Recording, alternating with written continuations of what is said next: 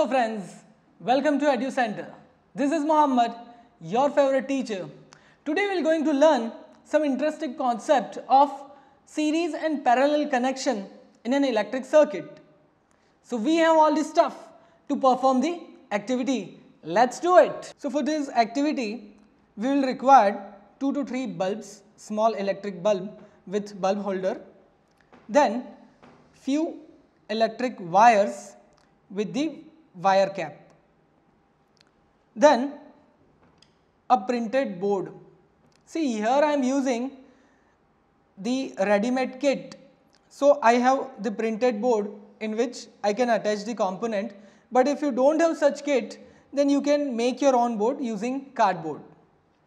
Then we need two small batteries 1.5 volt each then one battery holder and we need few nut bolt and some angles and finally to connect all these things we need a screwdriver तो अब अब हम बनाएँगे हमारा circuit उसके लिए हमें wires को और इलेक्ट्रिक बल्ब को कनेक्ट करना है तो मैं आपको दिखाता हूँ कैसे कनेक्ट करेंगे ये जो वायर है इसका जो कनेक्टिंग एंड है उसको यहाँ पे स्क्रू के नीचे लगा करके फिर स्क्रू को हमें टाइट करना है। इस तरीके से इसको।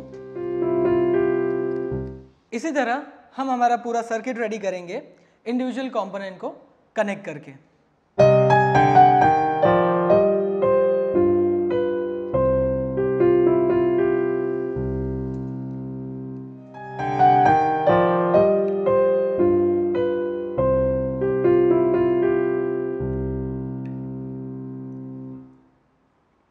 Now our circuit is ready हमारा जो सर्किट है, वो कंप्लीट हो चुका है।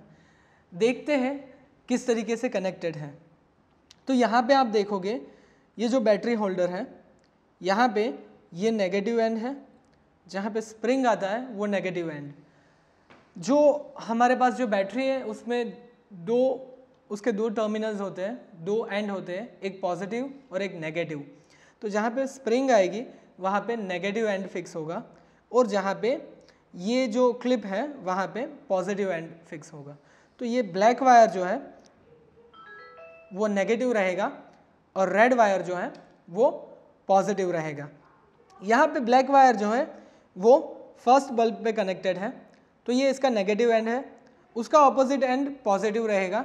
तो पॉजिटिव में हमने रेड वायर कनेक्ट किया है। फिर ये रेड वायर सेकेंड बल्ब पे आएगा।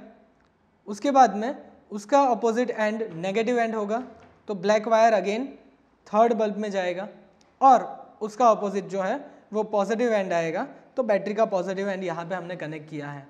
ये जो है, वो है हमारा सीरीज़ कनेक्शन इसमें आप देख सकते हो कि इलेक्ट्रिक करंट फ्लो करने के लिए सिर्फ़ और सिर्फ़ एक ही रास्ता है। यहाँ से इलेक्ट्रिक करंट जाएगा पॉजिटिव एंड से तो यहाँ से जा करके ये पूरा घूम करके वापस बैटरी में आएगा। सो इलेक्ट्रिक करंट को फ्लो करने के लिए सिर्फ़ और सिर्फ़ एक ही रास्ता है। उसको बोलेंगे हम सीरीज़ कनेक्शन ये तीनों बल्ब सीरीज़ में कनेक्टेड है। Let's see what happen if I insert the battery battery insert करने से क्या होता है? Let's see see here the all the three bulbs are glowing तीनों के तीनों बल्ब जो हैं, वो ग्लो कर रहे हैं, क्योंकि सर्किट कंप्लीट हो रहा है इलेक्ट्रिक करंट तीनों बल्ब में से पास हो रहा है, और तीनों बल्ब जो हैं, वो ग्लो करेंगे। देखते हैं, इसमें से अगर एक बल्ब का सर्किट ब्रेक होता है तो क्या होता है? लेट अस सी एक बल्ब में से कनेक्शन रिमूव करेंगे तो क्या होगा? Let us remove connection from here यहाँ से कनेक्शन रिमूव करेंगे हम।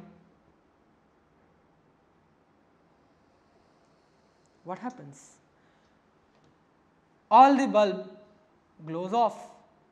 सभी बल्ब जो है, वो ऑफ़ हो गए क्योंकि कनेक्शन ब्रेक हुआ, एक का कनेक्शन ब्रेक हुआ मतलब सभी का कनेक्शन ब्रेक हो गया है this is what the series connection is. Now we are going to make the circuit for parallel connection.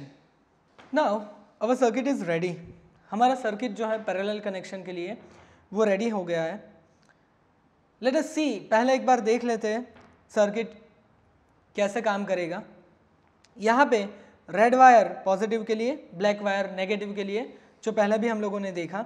तो यहाँ पे आप लोग देखोगे, ये जो ब्लैक वायर है, वो निकल करके यहाँ पे फ़र्स्ट बल्ब में आ रहा है और रेड वायर है, वो भी फ़र्स्ट बल्ब में आ रहा है। दोनों वायर फ़र्स्ट बल्ब में, एक पॉजिटिव एंड पे, एक नेगेटिव एंड पे। फिर अगेन यहाँ से दूसरा एक रेड वायर निकल करके, दूसरे बल्ब में, और ब्लैक वायर निकल करके दूसरे बल्ब में। फिर अगेन यहाँ से एक रेड वायर निकल करके तीसरे बल्ब में, और ब्लैक वायर जो है, वो निकल करके तीसरे बल्ब में आ रहा है। यहाँ पे हम लोग देखें तो करंट को फ्लो करने के लिए एक से ज़्यादा डायरेक्शन है। इलेक्ट्रिक करंट यहाँ पे आएगा तो इस बल्ब में भी जाएगा, और पैरेलली इस वायर में जाएगा। दूसरे बल्ब में आएगा तो वापस इलेक्ट्रिक करंट बल्ब में जाएगा और पैरेलल इस वायर में जाएगा। मतलब इलेक्ट्रिक करंट को फ्लो करने के लिए मल्टीपल पाथ है। सीरीज़ कनेक्शन में सिर्फ़ एक ही पाथ में इलेक्ट्रिक करंट फ्लो कर सकता था। पैरेलल में फ्लो करने के लिए मल्टीपल पाथवे है। सो so, अगर एक पाथ ब्रेक हो गया तो भी करंट दूसरे पाथ में से फ्लो करेगा। और कोई एक बल्ब अगर कोई एक जगह पे से सर्किट ब्रेक हो गया और एक बल्ब बंद हुआ तो दूसरा बल्ब कंटिन्यू ग्लो करेगा। देखते हैं ये किस तरीके से काम करता है। Let us connect the battery in the holder now here it goes all the three bulbs are glowing now अगर आप लोग देखोगे तो सीरीज़ कनेक्शन में जब मैंने बैटरी इंसर्ट किया था तो बल्ब की जो इंटेंसिटी थी, वो कम थी। आप लोग देख सकते हैं यहाँ पे, दोनों के बीच में कंपैरिजन देख सकते हैं। सीरीज़ में बल्ब इंटेंसिटी कम थी पैरेलल में बल्ब की जो इंटेंसिटी है लाइट की इंटेंसिटी है, वो ज़्यादा है। ऐसा क्यों? Why is it so because in parallel connection the voltage drop is same over all the three bulb दोनों बैटरी में 1.5 और 1.5 मिला करके 3 वोल्ट का डिफरेंस है। तो हर एक बल्ब को 3 वोल्ट पोटेंशियल मिल रहा है। इसलिए तीनों की इंटेंसिटी जो है, वो 3 वोल्ट के अकॉर्डिंग है। लेकिन सीरीज़ में क्या होता है कि वोल्टेज जो है, तीनों में डिवाइड हो जाता है। 3 volt divided by 3 so all the bulb will get only one volt potential difference इसलिए सीरीज़ में उसका इंटेंसिटी कम है पैरेलल में इंटेंसिटी ज़्यादा है। अब हम लोग देखेंगे कि कहीं पर अगर कनेक्शन ब्रेक हुआ तो क्या हो सकता है? सपोज़ यहाँ से कनेक्शन ब्रेक हुआ सीरीज़ में हमने यहाँ से कनेक्शन ब्रेक किया था पैरेलल में भी यहाँ से कनेक्शन ब्रेक करके देखते क्या होता है। ये कनेक्शन ब्रेक हुआ। तो एक बल्ब जो है वो बंद हो गया है लेकिन दूसरे दो बल्ब जो हैं वो कंटिन्यू ग्लो कर रहे हैं this is the benefit of parallel connection. Now we're going to see what's the use of series and parallel connection.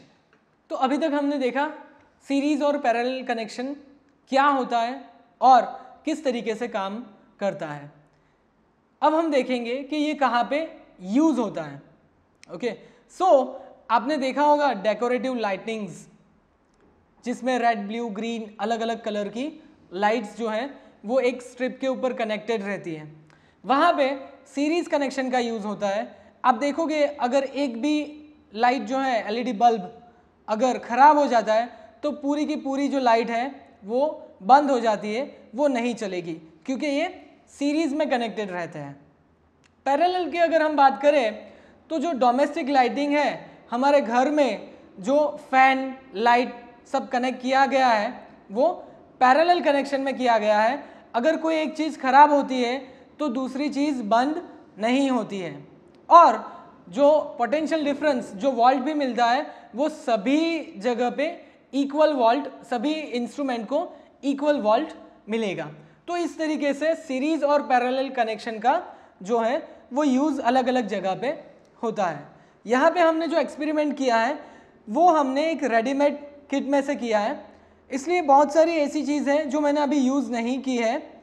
जैसे कि ये जो बोल्ट है, एंगल है, नट है, उसके बाद में यहाँ पे ये सारी चीज़ों को यूज़ करके बोर्ड पे मैंने फिक्स नहीं किया है। उसके अलावा कुछ एक्स्ट्रा वायर्स का भी यूज़ नहीं किया है। क्योंकि ये जो किट है, उससे आप बहुत सारे अलग अलग एक्सपेरिमेंट कर सकते हो। अराउंड सिक्सटीन एक्सपेरिमेंट्स इससे हो सकते हैं। यहाँ पे हमने एक एक्सपेरिमेंट देखा एक्चुअली दो एक्सपेरिमेंट को कंबाइन करके देखा हमने सीरीज़ और पैरेलल कनेक्शन और उसका डिफरेंस हम लोगों ने देखा। आगे के वीडियोस में हम लोग और डिफरेंट एक्सपेरिमेंट्स देखेंगे और आ, सीखेंगे कि इलेक्ट्रिसिटी जो है वो किस तरीके से हमारे यूज़ में आती है और अलग अलग सर्किट बना करके हम डिफरेंट यूज़ कैसे कर सकते हैं। अगर आपको ये किट परचेज करना है तो इसका लिंक मैंने डिस्क्रिप्शन में दिया है। आप लिंक पर के जा करके ये किट को परचेस कर सकते हैं और अपने स्कूल के प्रोजेक्ट में इसको यूज़ कर सकते हैं। अगर आपको ये एक्सपेरिमेंट पसंद आया हो और अगर हमारा वीडियो अच्छा लगा हो तो इसे लाइक ज़रूर कीजिएगा, अपने दोस्तों के साथ शेयर कीजिएगा और अगर आपको इसी तरीके के वीडियोस अगर देखने हैं और नई चीज़ें लर्न करनी है तो हमारे चैनल को सब्सक्राइब ज़रूर कीजिएगा। Thank you so much for watching